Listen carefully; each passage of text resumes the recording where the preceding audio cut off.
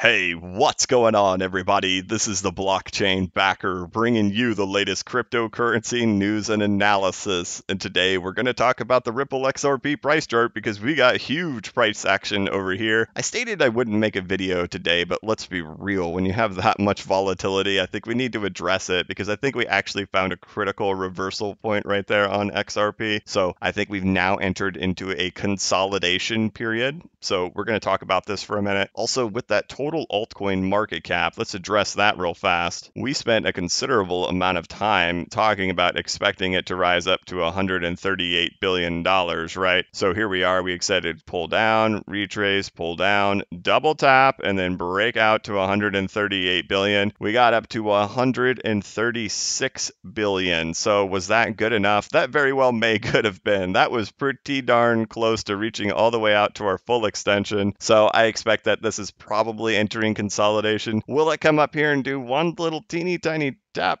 I guess it could, but you know we're we're pretty close to reaching the full extension. I would expect some some consolidation to take place in the total altcoin market cap at this point. So we head back on over to XRP and we say, okay, well then that probably means that we've got some consolidation going on here on this chart, and that was the end of that parabolic blow off top, which did end with a five wave structure right here. So we'll just throw a little one, two, three, four, five right here on the screen to show how that usually ends when you reach the parabolic end. Now, one of the things is we had been talking about expecting this move to the upside for a long time, right? I'll never forget the video when we just talked about how the, the your psychology thinks that it's just going to keep going down like that, right? But that this would not happen and it would reverse here and go all the way up. And sure enough, it did. And at this time, we had we remained consistent on talking about expecting that a, a move up to 28 cents would happen. So we got all the way up to 28 and then we exceeded it. So wow, I you know even that took me for a little bit of a shock that we got so much further beyond it. But what did not surprise me and hopefully did not surprise you guys was the big flash crash that we got afterwards. So we ended up getting a 25% flash crash to the downside. So the big question now is whether or not we're actually going to come back down to this 22 and a half cents, right? Will it actually reach down here? So I'll give you my opinion on that right now. First of all,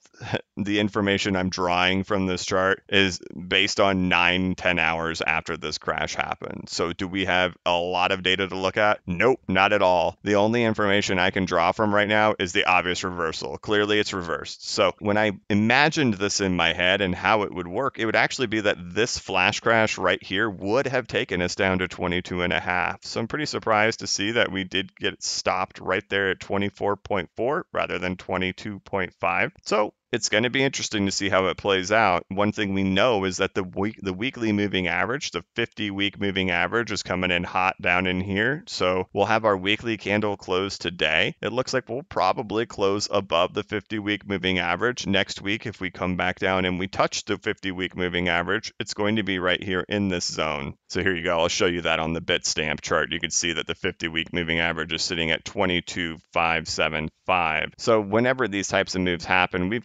consistently seen that, you know, whether or not it's going to hit it right on the nail, right? Is it going to hit 22.6, 22.5, 21.9? I don't know. But, you know, right here in this region is the expectations that I have for where the pullback will take it. What is off to me is that it didn't actually do it during the initial flash crash, is when I expected it to actually happen. So we'll see how this consolidation plays out. If too much time passes, then I may start thinking it's not going to come. It's going to really depend, and we'll just have to see. But for now, I still have to hold on to that expectation that it will. Again, like I always mentioned, I'm not trading. So if you're trading, you know, that's kind of your own thing, man. I'm not here trading. I'm I'm accumulating, right? And that's how I've consistently remained that I'm playing the much larger swing and that I am doing nothing more than accumulating right now. So if the price comes down to 22 and a half cents, it's only for me to accumulate more. I have a fully packed bag and if I can add to my bag, I'll take it. But if the price wants to fire all the way up to the upside and go to the moon without me adding on one more accumulation after you know, years of accumulation,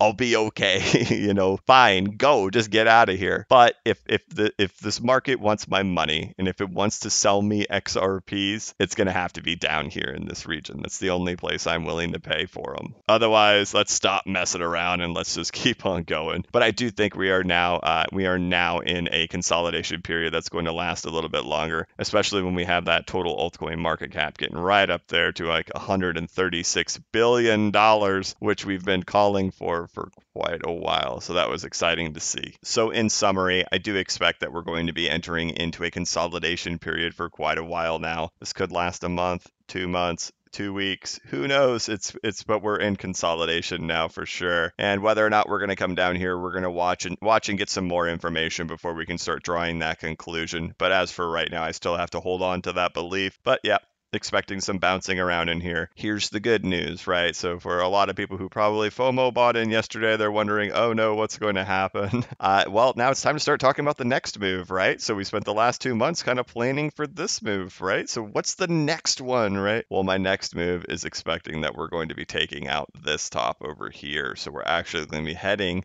all the way up to probably around 55 to 60 cents in our next move after this consolidation. So I fully believe it. We're in a bull market, guys. We are in a bull market. We just have to do some consolidation in a bull market, which is totally normal. So that's going to be our next target. And next week, we'll kind of start drawing some conclusions on whether or not we're coming down here for a deeper cons- consolidation or if we're going to do a higher consolidation preparing for this guy way up here. So that's going to wrap it up for this one. I hope that you guys are having a fantastic weekend. You can follow me over here on Twitter at BCBacker. I want to thank you guys so much for watching my channel. Please like this video and give it a thumbs up. It always means a lot to me. If you're not subscribed to the channel, please subscribe and hit the notification notification bell so you can be notified of when I create new content and when I go live. As always, this is not investment advice and I am not a financial advisor, but if you ever need a pick me up or a little bit of reassurance, just remember that the blockchain backers got your back.